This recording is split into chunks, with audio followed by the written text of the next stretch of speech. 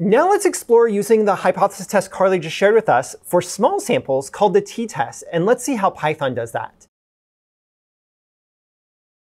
And just like before, I'm going to reach out to Google and see if a library already exists, and if not, I'll program one myself.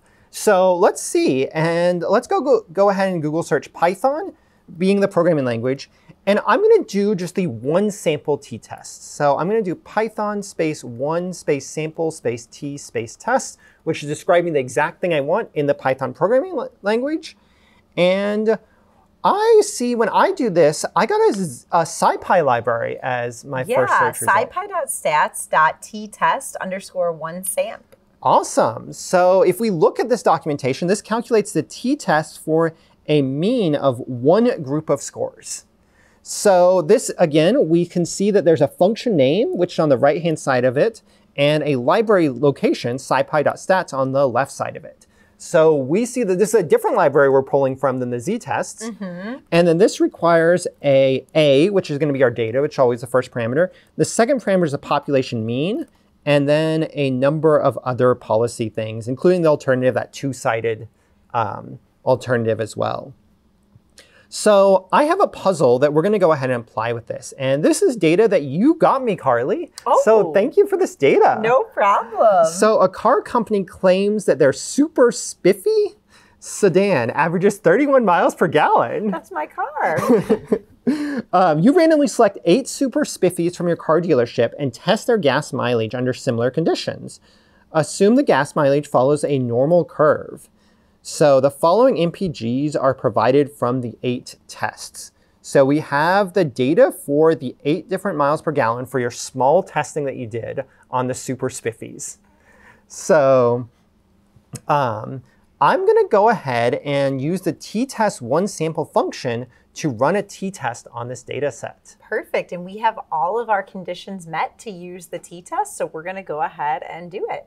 So here, I'm going to first just put this data in a list so that I can go ahead and give it to the function all at once. So I'm going to say data, and instead of having it being an open and close bracket, which I've done when I was doing simulation, since I have all of the data, I'm not simulating anything, I'm going to say data is equal to an open bracket, and then just go ahead and write out all the data. So open bracket, and then I'm going to say 31.7, comma 29.8, comma 30.3, comma 32.4, comma 31.2, comma 28.1, comma 29.6, comma 30.0, and then close out my square bracket. So I've added all eight of these points to my data. And then I'm going to go ahead and write out the import statement to go ahead and import this library. So I'm going to say from scipy.stats import t-test underscore one SAMP. And then I can go ahead and say t-test one sample. And the first parameter is my data. My data is just stored in data. So I'm going to just give it the whole data list. And then the second parameter needs to be my population um, mean.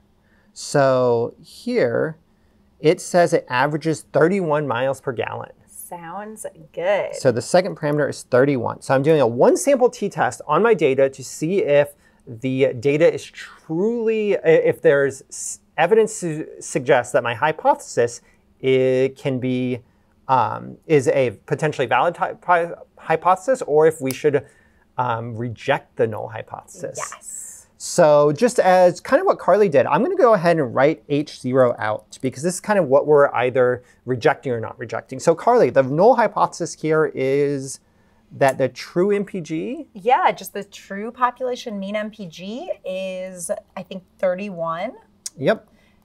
And then? Then the alternative is we actually don't know if it's bigger or smaller, right? Oh, yeah, they didn't specify that here. And when you test these cars, you were just like, is it 31 or not? Yeah. So the true mile per gallon is not 31. So Carly, why don't we go ahead and run t-test underscore one sample and see what we get? Let's see. And we got t-test one sample result. Our statistic is negative 1.28, so I'm assuming that's our t statistic. Yep. And then our p-value, oh, this is nice and labeled, is 0.24. 0.24. So we have a p-value of 0.24. So there's analysis. Does the data you collect suggest there may be evidence to suggest the true mile per gallons may not be 31? It looks like no. So the p-value is 0.4. So the p-value is not less than 0.05.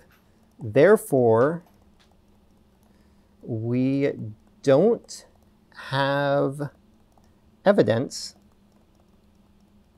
to suggest the alternative hypothesis. Yes, exactly. And just a quick thing I wanted to point out here is that Wade said right away, we're going to do a t test on this data.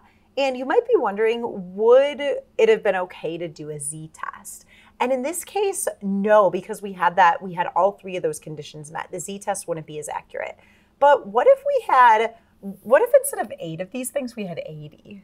80. So you said the first condition was the data had to be small. Yes. And 80, you said 25 is kind of your cutoff. Yes. So if we had 80, we'd have to use a z-test, right? Yeah, and the, the, the nice thing though is if we did use a t-test with a large sample, it's not going to be wrong. It just is less necessary. So sometimes statisticians um, and especially data scientists will just always do a t test so that they don't have to worry about checking those conditions. But it's technically not wrong if we did a t test, it's just less necessary. So the t test is, again, kind of the more conservative test exactly. between t and z. Yes.